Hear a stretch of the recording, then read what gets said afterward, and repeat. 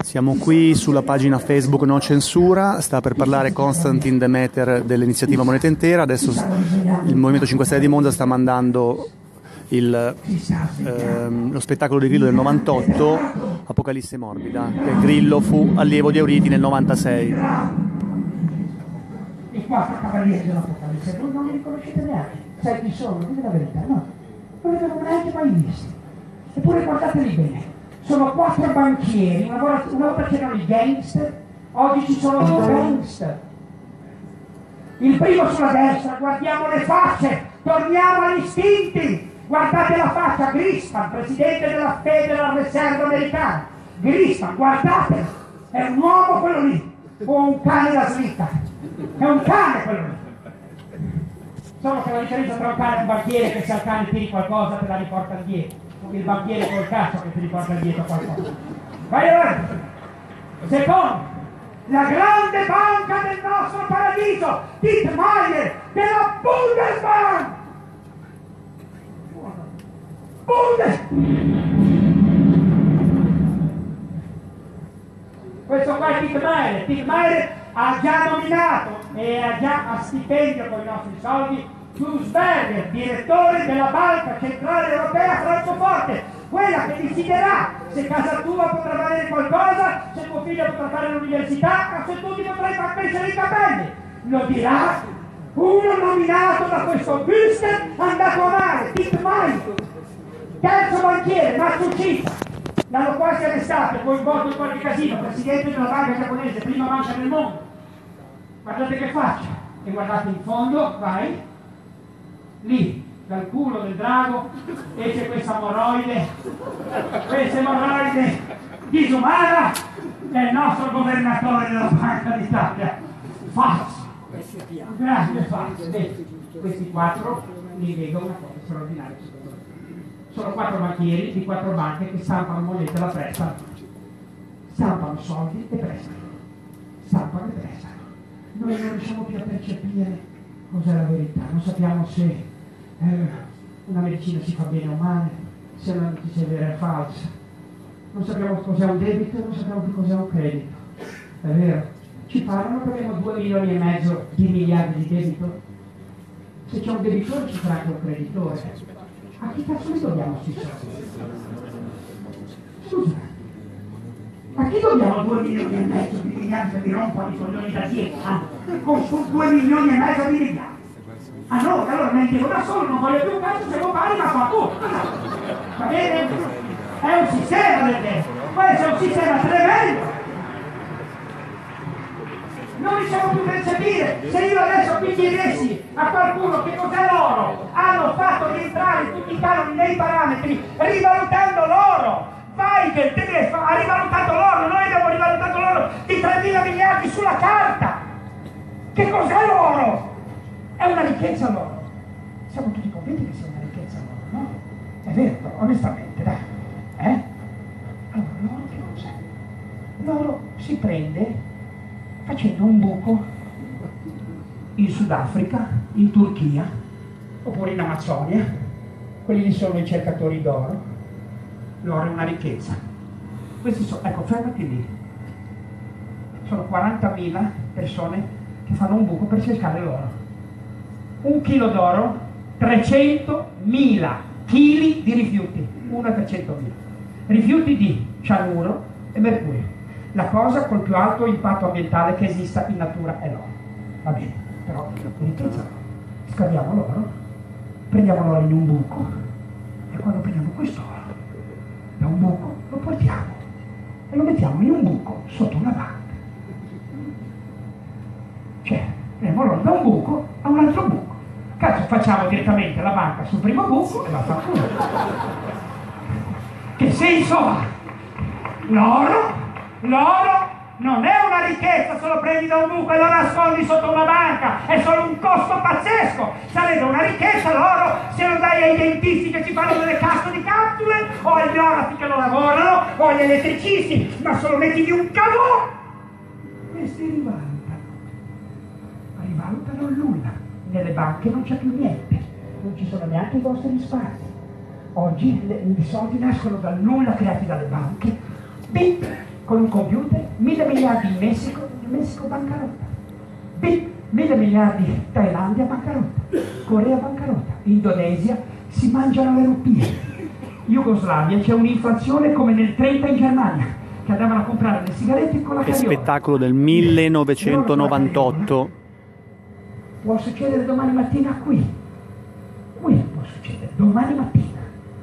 In banca non c'è più niente. Una volta si stampavano i soldi quando c'era l'oro nelle casse forti. Si stampavano i soldi quando c'erano i nostri risparmi a proteggere i cassi di check o i carte di petto. Non c'è più niente. Stampano soldi e ce li prestano. Ora mi dite una cosa, di chi sono i soldi? È una domanda. La proprietà dei soldi di chi è? Eh, dello Stato, quindi lo Stato siamo noi. Lo Stato, sapete che non esiste lo Stato, lo Stato è un'invenzione giuridica, non c'è lo Stato. Siamo, sulla pagina Facebook No Censura. Sta per parlare Konstantin Demeter dell'iniziativa Moneta Intera Svizzera. Se i soldi sono i nostri, perché? Che li prestano? Rispondi Gianmarco.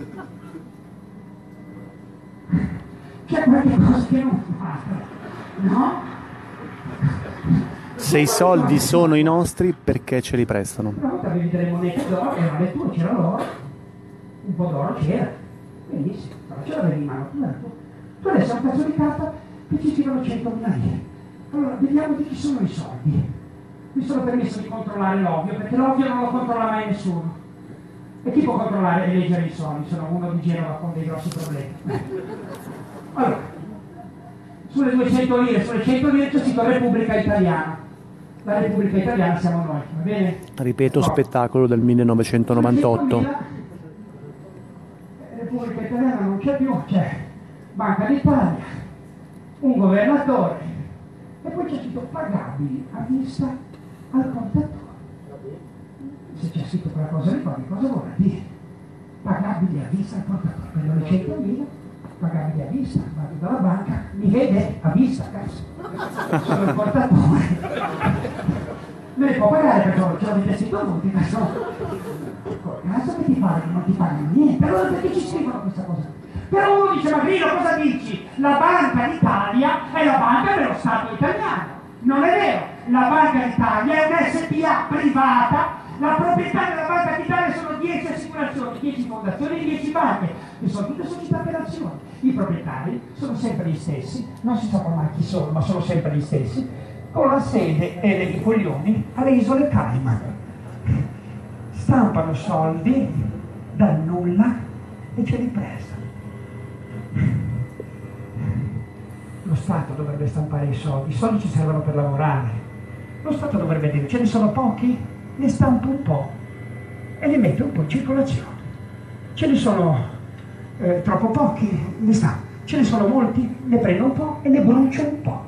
Mantengo la circolazione stabile, i prezzi stabili. I soldi servono per tenere i prezzi stabili e per farci lavorare, sono pezzi di carta. Però li stampa un SPA, perché i soldi non dovrebbero essere così. Banca d'Italia, governatore pagabile a vista. I soldi in un paese civile dovrebbero essere così. Repubblica Italiana e non Banca d'Italia. Di proprietà del portatore e invece di un cazzo di governatore, il capo dello Stato firma lui. Farebbe una cosa nella vita che ci potrebbe dare un minimo di soddisfazione.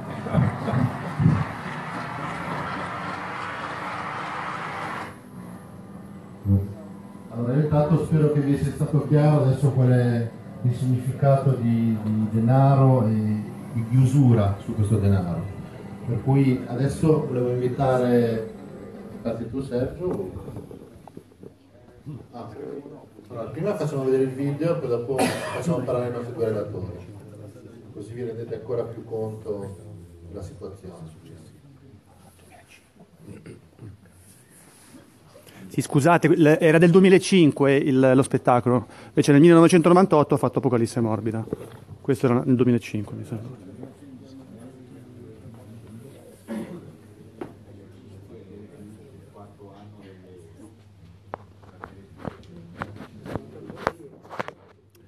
Adesso sta per cominciare a parlare Konstantin Demeter dell'iniziativa referendaria moneta intera. in Svizzera l'iniziativa vuol dire che si fa un referendum propositivo, cioè che è legge se passa, non come in Italia che i referendum hanno addirittura il quorum.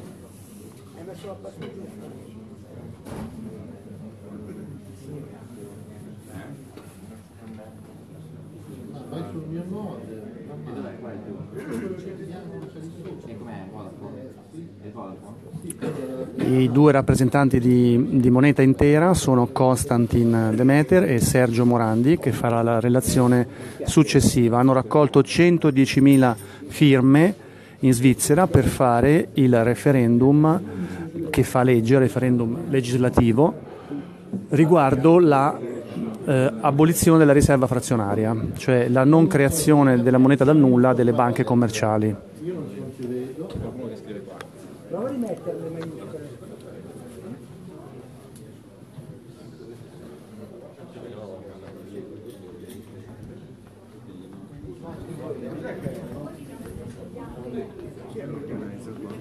Gianmarco. Cosa siamo qui con Antonio Pimpini, eh, vuoi ricordarci nel 96 eh, quando Grillo telefonava e veniva a Guardia Grele a parlare col professore? Sì, è venuto parecchie volte, ha conosciuto la teoria del professore Auritia e c'è stato anche un convegno molto importante ad Atri. Ad Atri, la, provincia di? Eh, Teramo, Teramo. Eh, nella scuola di specializzazione di studi eh, giuridici e monetari dove sostanzialmente condivise e apprese tutte le teorie del professore Auriti relativamente alla proprietà popolare della moneta e, e, comprese anche qual era il principio del debito pubblico e del reddito di cittadinanza, ma da questo, reddito, da questo concetto di reddito di cittadinanza si è discostato poi nell'applicazione pratica successiva, perché non, fu, non, è stato visto più come proprietà della moneta popolare, quindi da ridistribuire come reddito in favore di tutti i cittadini, ma come, sostanzialmente come elemosina, cioè come risparmio okay. che veniva eh, poi ridistribuito. Questo concetto quindi se non viene applicato nella sua ortodossia e quindi nella sua completezza, eh, chiaramente eh, manca di un presupposto fondamentale di chi è la proprietà della moneta. Se la moneta è dei cittadini va attribuita a titolo originario al momento dell'emissione alla collettività nazionale di conseguenza la banca centrale è tip, un tipografo, non è certo, è come se io andassi a, a chiedere al mio tipografo, stammi i bigliettini da visita e il mio tipografo diventa proprietario del mio studio professionale. È ovvio che il tipografo percepirà il suo uh, corrispettivo per la stampa del, del simbolo monetario, ma il valore monetario è dei cittadini. Quindi sta, percepirà il corrispettivo per la stampa del mio, de, del mio bigliettino, ma lo studio rimane mio. Okay. Questo è il concetto fondamentale. Ricordiamo che siamo qui con Antonio Pimpini, allievo, amico e assistente e avvocato del professor Auriti. Senti, gli atti e le registrazioni del convegno di Atri, è possibile reperirli in internet o no? Mi sembra di sì che era possibile, su simec.org dovrebbe essere possibile. cioè il video intero? Dovrebbe essere e poi chiederò anche si potrebbe chi, chiedere a Rocco sì, Carbone sì, Rocco se ci manda il link fu quello che dopo prese tutto l'archivio perché sarebbe importante quella certo, registrazione, certo, certo, quella certo. registrazione. E, ehm, niente, cosa vuoi dire? In tutti questi anni si è un po' diffusa l'idea del professore di combattere sì, eh, frontalmente le banche? Fronta- il problema è eh, comprendere come combatterlo, perché io ho già notato alcuni aspetti che possono essere visti in maniera critica il, l'oro non ha valore intrinseco, la moneta non ha valore intrinseco. Ok, scusa che vado vai, a prendere vai, vai, il video loro.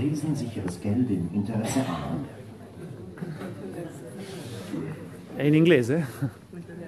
Ah, ah beh, certo. Il denaro. Tutti noi usiamo il denaro, ne abbiamo bisogno per comprare beni e servizi. Lavoriamo per guadagnarcelo, lo mettiamo da parte per la pensione o per quando ne avremo bisogno. Tutti dipendiamo dal denaro e allora perché non sappiamo come funziona il denaro? Perché Questo è il video di Moneta Intera. Siamo sulla pagina Facebook No Censura. Da dove viene tutto questo denaro?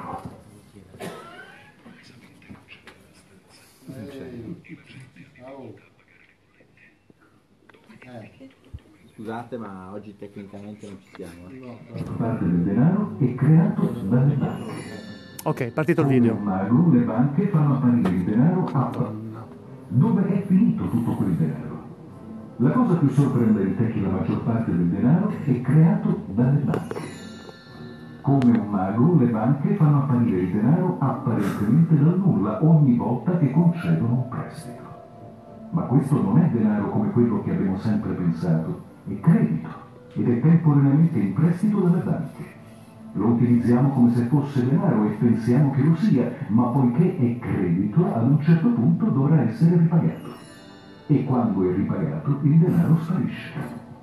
Questo non è un trucco, è il modo in cui viene creato e poi distrutto quasi tutto il nostro denaro.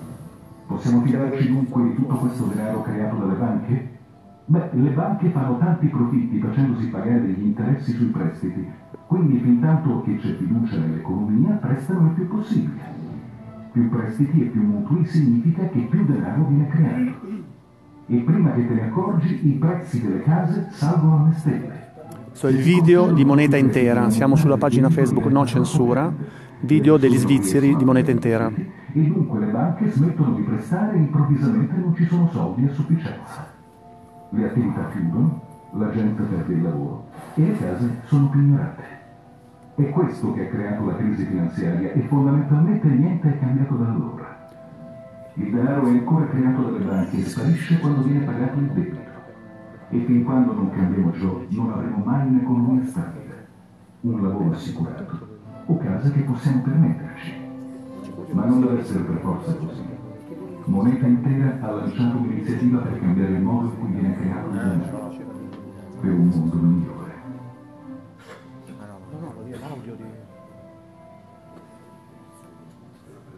Bene, ne parliamo adesso con, con Constantine, giusto?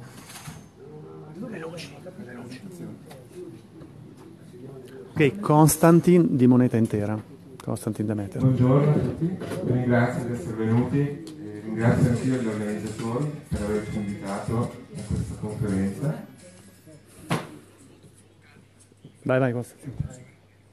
Eh, allora, appunto, noi abbiamo lanciato questa iniziativa in Svizzera, eh, abbiamo raccolto 110.000 firme e andremo in votazione nel 2000, quest'anno oppure l'anno prossimo, non, è- non si sa ancora questo.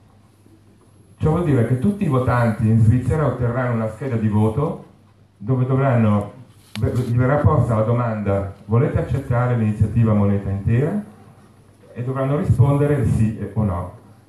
Già solo questo è un evento di rilevanza mondiale. Se venisse accettata sarebbe una sensazione. Allora, eh, vorrei prima spiegare un attimo il termine moneta intera. Il- moneta intera praticamente è un mezzo legale di pagamento a pieno titolo, emesso dalla Banca Nazionale, esente da debito. Ciò che il denaro che oggi abbiamo sui nostri conti non è. E dico questo anche perché dopo, quando parleremo di moneta intera, ehm, sapete che non, non parlo solo di questo denaro specificamente della nostra iniziativa, ma anche in generale di un denaro emesso in questo modo, senza debito da una banca centrale, quindi possiamo chiamarlo anche moneta sovrana o in altri modi.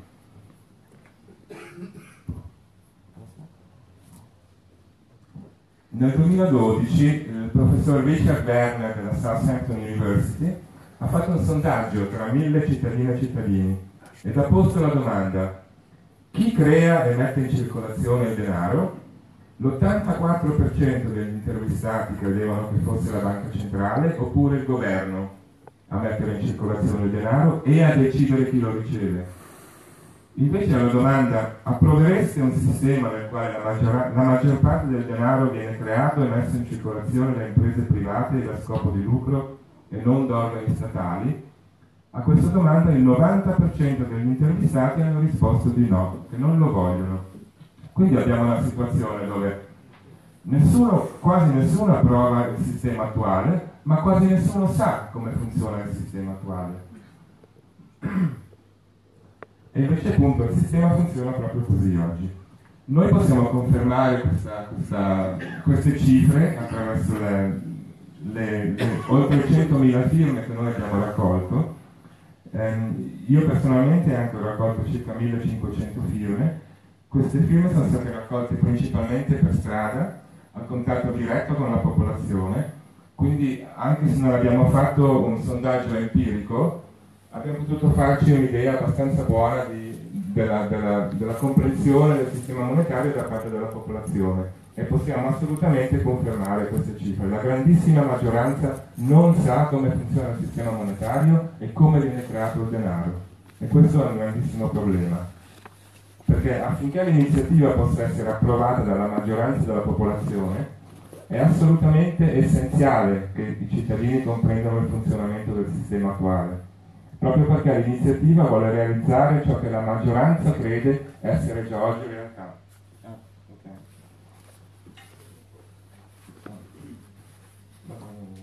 Allora qui vediamo appunto la, la teoria che è rappresentata anche nel libro di testo, dove le banche fungono da intermediari, prendendo i risparmi, i depositi a risparmio e utilizzandoli per concedere crediti.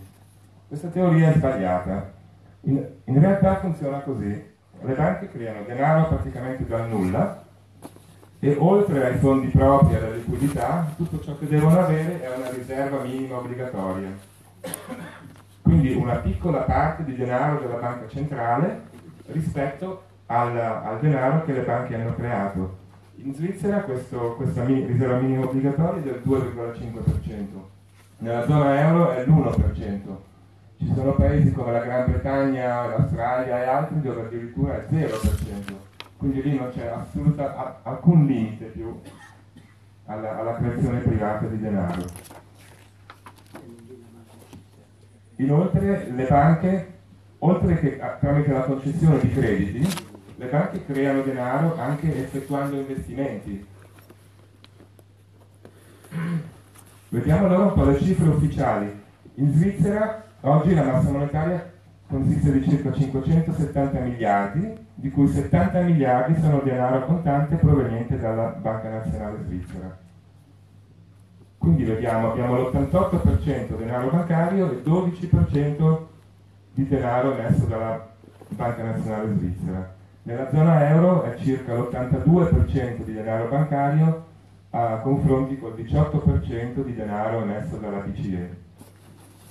Eh, è interessante anche notare questo ehm, considerando l'attuale progressiva o i tentativi progressivi di eliminazione del denaro contante, perché dobbiamo renderci conto che se oggi venisse eliminato il denaro contante, i cittadini non avrebbero più a disposizione denaro della banca centrale. Tutto il denaro che utilizzeremmo sarebbe denaro privato. E questo è molto molto pericoloso. Allora, qualcuno chiederà dove sono le prove che le banche creano denaro? A parte appunto il fatto che lo si vede già nella composizione del denaro in circolazione, che la maggioranza è denaro bancario. Inoltre negli ultimi anni anche tante banche centrali hanno incominciato ad ammettere ehm, che le banche in effetti creano denaro, per cui c'è la Bank of England, la Deutsche Bundesbank, la Banque de France, anche la Banca Nazionale Svizzera benché solo in un, in un testo del 2013. E ci sono vari economisti che confermano questo fatto. Ora non vi leggo tutte le, le citazioni di queste banche centrali, potete trovarle sul nostro sito o su altri siti di riforma, riforme monetarie. Mi limito solo a una della Banca Nazionale Svizzera che dice le banche creano denaro tramite l'erogazione di crediti. Quando una banca concede un credito, essa scrive il rispettivo importo sul conto del cliente come deposito. Tutto qua. Allora, vediamo un po' gli svantaggi del sistema monetario attuale. Abbiamo un gigantesco spreco di imposte. Il nuovo denaro creato, essendo stato messo in circolazione tramite crediti bancari, non è a disposizione per la spesa pubblica e, o per i cittadini questi in Svizzera perdono centinaia di miliardi, cioè tutta la massa monetaria in circolazione, oltre che annualmente da 5 a 10 miliardi di denaro supplementare. In Italia, se non erro, la massa monetaria in circolazione è circa un bilione, quindi questo è il denaro che i cittadini italiani perdono, oltre che a circa 10-20 miliardi annualmente supplementari. Quindi è veramente tanto, tanto denaro che, che viene sottratto un certo senso ai, ai cittadini. Questo adesso sono le, delle cifre considerando una crescita economica dall'1 al 2%. I cittadini devono invece addirittura pagare interessi perché circoli abbastanza denaro. Questo è un grave spreco del bene pubblico ed in contraddizione con i criteri statali di parsimonia. Abbiamo costrizioni di debito. Siccome oggi il denaro viene creato quasi esclusivamente tramite crediti bancari, ci sono sempre debiti ed averi nella stessa quantità. Non esistono averi senza debitori e non è possibile uno sdebitamento senza riduzione dei patrimoni. Questo è importante capirlo. Tutto il denaro che utilizziamo è in realtà una rivendicazione di crediti, ma questo sulle banconote o sui nostri conti non, non è scritto. Pensiamo che il denaro esista di per, te, di, di, esista di per sé, ma questo è sbagliato. Se, se, voi avete 100 euro nel portafogli oppure 100 euro su un conto, qualcun altro per forza deve avere questi 100 euro come debito, sui quali paga interessi. In parte pure noi, tutti, attraverso il debito pubblico o eh, acquistando beni e servizi, perché gli interessi sono sempre compresi nei prezzi, paghiamo anche noi interessi per avere denaro in circolazione, sempre. Perciò i debiti restano sempre necessari, anche se non sono sensati, perché se tutti i debiti venissero estinti non ci sarebbe più denaro in circolazione. Può sembrare assurdo, ma è veramente così oggi. Per cui l'economia crollerebbe. Perciò nel sistema monetario odierno uno sdebitamento statale è solo possibile se privati e imprese si indebitano maggiormente oppure se vengono ridotti i patrimoni finanziari. Patrimoni monetari crescenti invece portano necessariamente a più debitori disperati. Abbiamo insicurezza. Il nostro denaro elettronico odierno depositato sui conti correnti è sempre in pericolo a causa del possibile fallimento della banca. Il problema consiste nel fatto che chiunque voglia partecipare al traffico dei pagamenti deve necessariamente dare un credito ad una banca, che lo voglia o meno. Se la banca fallisse è possibile che il denaro scompaia e per salvarlo e garantire la continuità del traffico dei pagamenti deve intervenire lo Stato, come abbiamo visto ultimamente.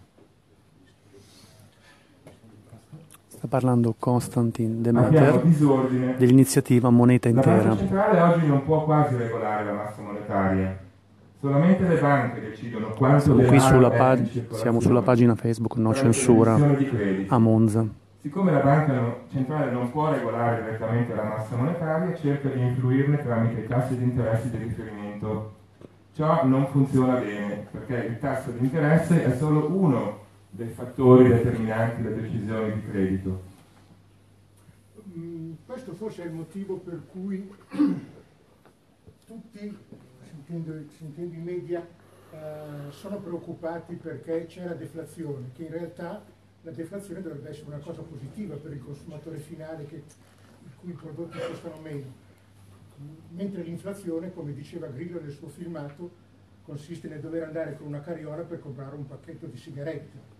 E tutti sono preoccupati per la deflazione, mentre sembra quasi che, anzi, propendano per creare inflazione e quindi creare masse di denaro che valgono però sempre meno.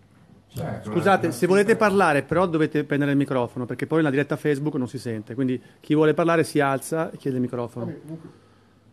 Ok, da dopo in avanti. Certo, la, la, la spinta ad avere, costante, ad avere sempre l'inflazione è una, una, spinta a una crescita costante, che però non, non, non, va, non, è a favore di tutta l'economia. Questo è, è così, sì. Adesso il microfono, signore parlano tutti.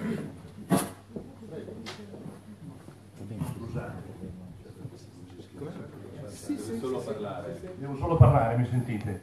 Allora io non volevo far perdere tempo alle persone perché questa materia, la materia dei soldi è talmente ostica che io... Vicino alla bocca, per favore. Ah, ah sì, grazie. Quindi è talmente ostica che io faccio fatica, guarda adesso ho capito, io ho versato un milione ieri, ce l'ho o non ce l'ho?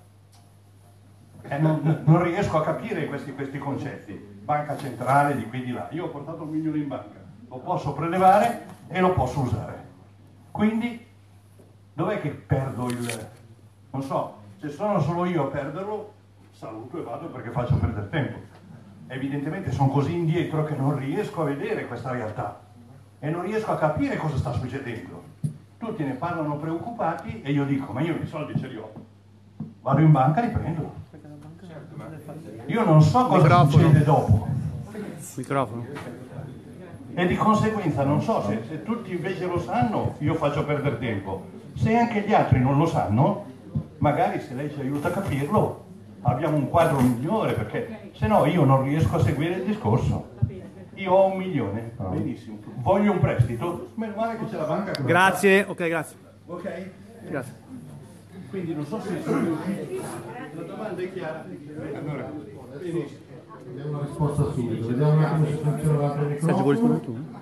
No? Allora, pronto, pronto? Ecco. Sì, ok. Va? Allora, lo passo a loro. Il, il fatto è questo, chi vuole fare domande alza la mano come prima, gli passo il microfono io. Prego. Il fatto è questo, in, in tempi normali, finché c'è fiducia, funziona. A parte, a parte, comunque il fatto che i cittadini perdono tutto il signoraggio, questo, questa è una cosa che è sempre vera, però finché noi abbiamo fiducia in questo denaro bancario, la cosa funziona e finché le banche concedono crediti e si concedono crediti a vicenda, perché questo è importante, durante le crisi sono sempre le banche che non si fidano più del loro stesso denaro a vicenda e quindi tutto il sistema del traffico dei pagamenti viene interrotto, non vengono più concessi crediti. Questo è il problema. Però se una banca fallisce, quel milione che lei ha depositato in banca, quel, quel milione può sparire. Perché?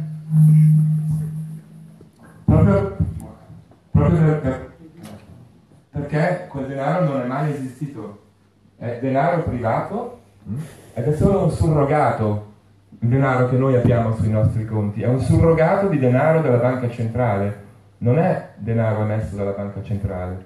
Quindi appunto, come detto, finché c'è fiducia funziona, ma se una banca va in crisi quel denaro scompare. E il fatto che lei può andare al bancomat e ritirare denaro, questa è l'illusione che il fatto che ci dà l'illusione che dentro nel conto c'è quel denaro, però non è così. Il denaro contante sì, quello è il denaro emesso dalla banca centrale, però quando lei lo rimette in banca viene di nuovo, quello viene utilizzato per altra liquidità e lei sul conto ha solo denaro, un surrogato di denaro di banca centrale.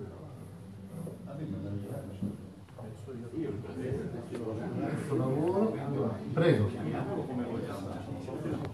Norberto Riva. Una cosa chi ha fatto la domanda, che quel milione che lei ha versato sul suo conto corrente, giuridicamente, giuridicamente dal momento in cui lei versa quel milione sul suo conto corrente, quel denaro non è suo giuridicamente, lo dice il codice civile, l'articolo 1834, è di proprietà della banca, per cui se la banca fallisce i suoi soldi se ne vanno.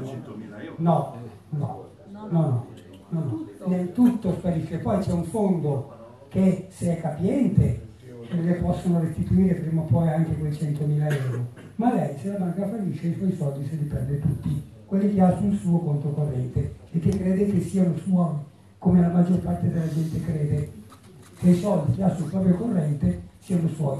Non lo sono, giuridicamente sono in proprietà della banca, almeno in Italia. Norberto Riva. Giusto per Sergio completezza, per completezza ehm, non è un deposito fiduciario che lei fa presso la banca.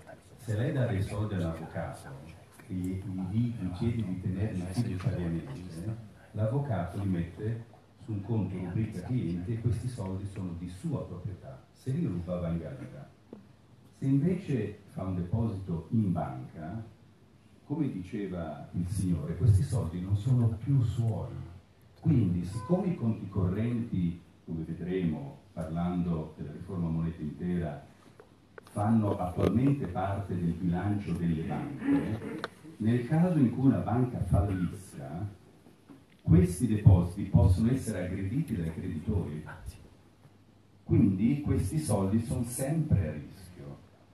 La prossima crisi sistemica che ci dovesse essere, lei si preoccupi di questi soldi, questo milione che fortunatamente ha in banca, perché potrebbe non averli più.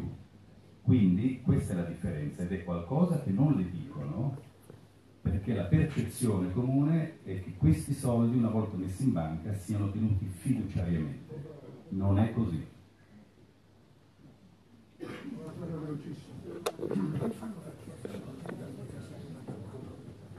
Quindi in sostanza un deposito bancario dei soldi messi in banca come correntista hanno un valore solo se vengono trasformati in un bene che può essere poi scambiato con un altro bene, ma finché stanno in banca potenzialmente possono non valere nulla. Soltanto se lei preleva i contanti dalla banca hanno un valore, ma finché li lascia in banca possono se li essere prelevo- aggrediti. Se li prelevo e compro qualcosa. con Se li prelevo li metti in una cassetta di sicurezza, se li metti sotto il materasso, questo è un altro paio di mani. Ed è questo il concetto di moneta intera, perché questo è denaro riconosciuto a tutti gli effetti che ha eh, corso legale.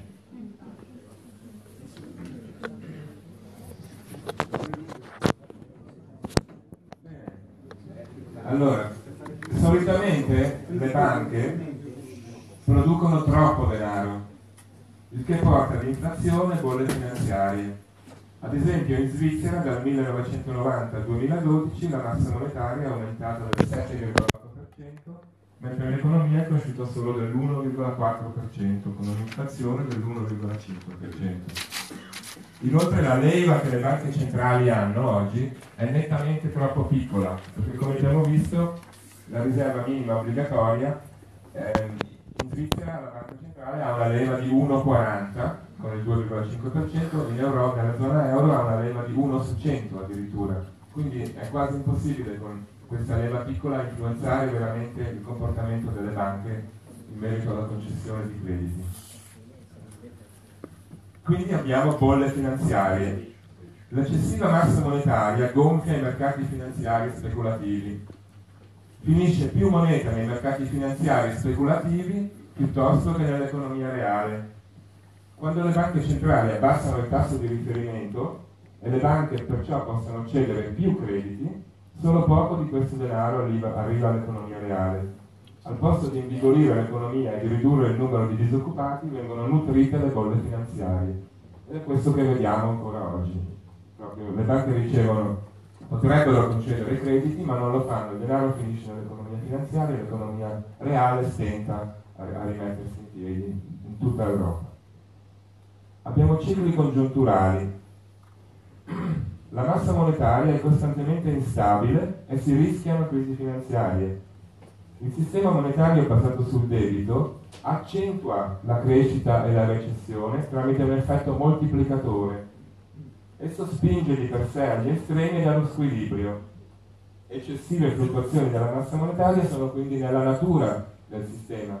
La crisi oggi non è una- una, eh, un'aberrazione, è la normalità. La crisi e, e il boom sono la normalità di questo sistema. Durante boom economici le banche concedono troppi crediti, mentre durante recessioni stentano a concedere crediti, amplificando in questo modo i cicli congiunturali. L'economia mondiale quindi oscilla in modo maniaco-depressivo tra bolle speculative e recessione. Infatti in molti paesi nella zona euro prima del 2008 in pochi anni si raddoppiarono i prezzi immobiliari, poi scoppiò la bolla ed in molti paesi si creò una dis- disoccupazione gio- giovanile oltre il 50%. Ecco, qui vediamo che dal 1970 al 2007, quindi inclusa l'ultima crisi del 2007-2008, ci sono state mondialmente 425 crisi finanziarie sistemiche, la- nelle quali la, la principale causa, oppure una concausa, fu l'eccessiva creazione privata di denaro. Abbiamo pressione di crescita. L'eccessiva produzione di denaro costringe l'economia a crescere costantemente. Vengono prodotti sempre più beni a scapito dell'ambiente e della collettività. Oltre che tramite crediti allo Stato e da privati, oggi il denaro per il consumo è disponibile solo quando imprese contraggono crediti e producono. Affinché le imprese ricevano crediti devono rendersi dipendenti da investitori che hanno aspettative di reddito ed incitano ad una costante crescita dell'economia, il che non è possibile in un mondo finito. Siccome le banche incrementarono di molto la massa monetaria rispetto alla crescita economica, si creò una costante sovrappressione dell'economia, amplificata ulteriormente dal pagamento degli interessi, che non vengono emessi alla concessione dei crediti e quindi richiedono ulteriore indebitamento. Quindi abbiamo un effetto esponenziale, perché gli interessi devono sempre, dobbiamo costantemente indebitarci. Sin dai tempi della prima industrializzazione, l'emissione di moneta tramite crediti bancari portò alla dipendenza delle imprese verso gli investitori, ad alte aspettative di reddito e quindi a costante pressione di crescita. Nel nostro sistema monetario, un'economia che non cresce è instabile. Siamo condannati alla crescita, ma la natura è limitata. Questa è una causa fondamentale della crisi ecologica. È certo che non sarà possibile avere un'economia sostenibile con l'attuale sistema monetario. Abbiamo ridistribuzione. Già solo la messa a disposizione del denaro necessario all'economia porta a redditi di capitale esenti da prestazioni di miliardi e ad una crescita costante del patrimonio monetario.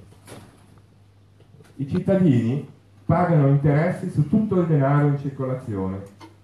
Quindi, per esempio, in Italia, appunto, se la massa monetaria è di circa un bilione, con un supposto interesse del 2% solo, i cittadini pagano annualmente 20 miliardi solo per avere denaro a disposizione da poter utilizzare. Questi interessi fluiscono principalmente verso i patrimoni monetari già esistenti ed ampliano il divario tra poveri e ricchi. Il sistema attuale monetario è complicato e incomprensibile. Come abbiamo visto, quasi nessuno comprende l'odierno sistema monetario e i professionisti della finanza naturalmente sfruttano questa situazione. Noi spesso sentiamo la critica che l'iniziativa moneta intera sia complicata, appunto, ma ciò è sbagliato, è il sistema attuale ad essere complicato. Purtroppo per spiegare l'iniziativa dobbiamo per forza prima spiegare il sistema attuale e è importantissimo che i cittadini quindi comprendano il sistema attuale.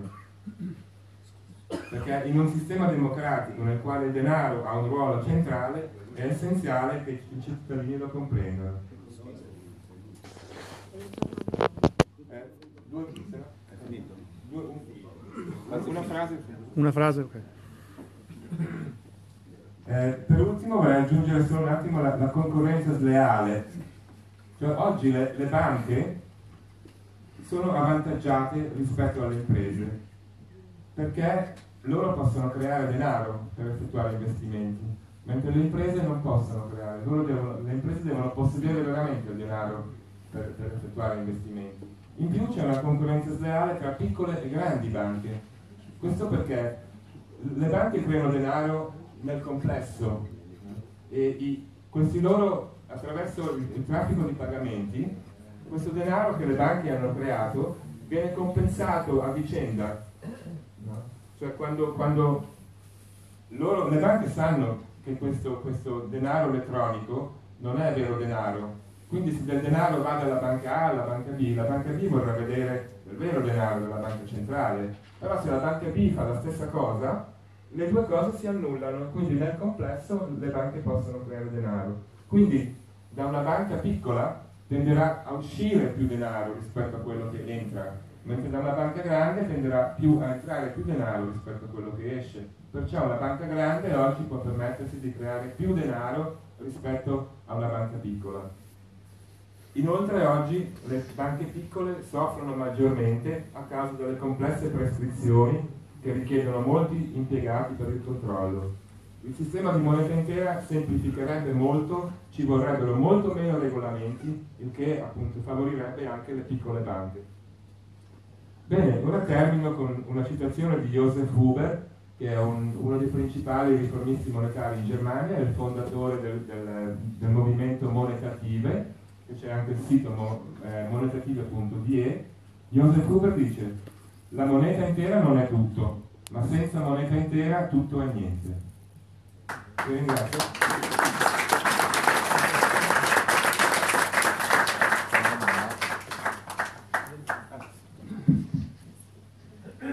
No, no, no, no, questo non va bene. Fa... Dagli quello. D- dagli quello, dagli quello. Posso parlare? No. Grazie. Eh, grazie innanzitutto Voce? per la bella iniziativa. Volevo fare una domanda. Ehm, voi praticamente avete detto che la moneta intera in sostanza è, una moneta, è una moneta esente da debito ed è una moneta sovrana. Io volevo gentilmente che mi spiegaste se si tratta di moneta di proprietà popolare, perché secondo me un conto è la moneta sovrana e un conto è la moneta di proprietà di popolo. Grazie. Ecco, Scandite la voce al microfono. Ok. Non risponderemo a questa domanda perché l'intervento mio è proprio riguarda proprio quella domanda, quindi eh, saremo in grado di rispondere. Si sente? Ok. Ehm, insomma, abbiamo capito che questo sistema monetario